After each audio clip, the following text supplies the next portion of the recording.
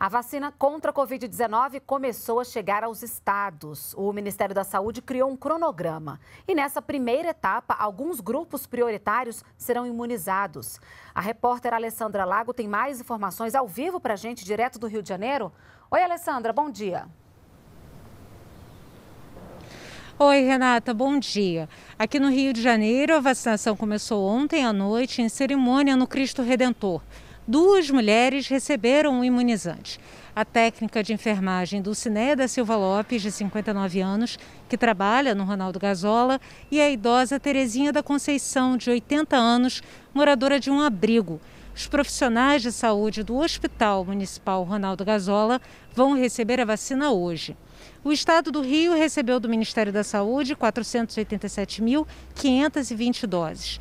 Nessa primeira fase, serão vacinados trabalhadores da saúde que atendem pacientes de Covid-19, idosos que estão em abrigos de longa permanência, pessoas com deficiência que estão em clínicas e hospitais e indígenas.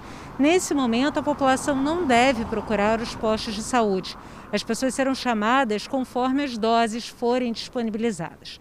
Além do Rio de Janeiro, o Ministério da Saúde enviou doses do imunizante do Instituto Butantan para outros estados e o Distrito Federal nesta segunda-feira.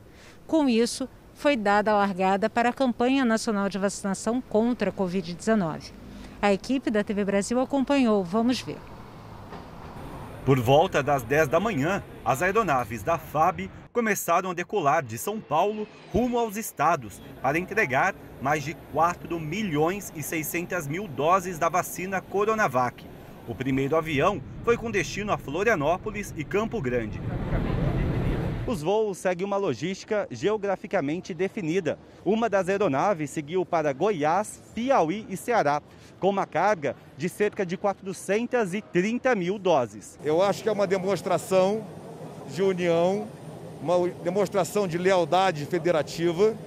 Nós estamos juntos aqui mostrando que o Brasil tem condição de iniciar uma campanha de vacinação em massa nacionalmente. Nós vamos entregar todas as vacinas em todos os estados, com o apoio do Ministério da Defesa e de companhias privadas. Antes de serem levadas aos estados, as vacinas ficaram acondicionadas no Centro de Distribuição Logística do Ministério da Saúde, em Guarulhos, armazenadas a uma temperatura de 2 a 8 graus negativos. Governadores e representantes de 17 estados receberam simbolicamente as doses pelo ministro da Saúde, Eduardo Pazuello. O Brasil clama pela vacina, representa a esperança da nossa gente de poder uh, voltar a ter uma vida uh, sob um novo normal e, claro, podermos salvar a vida da população.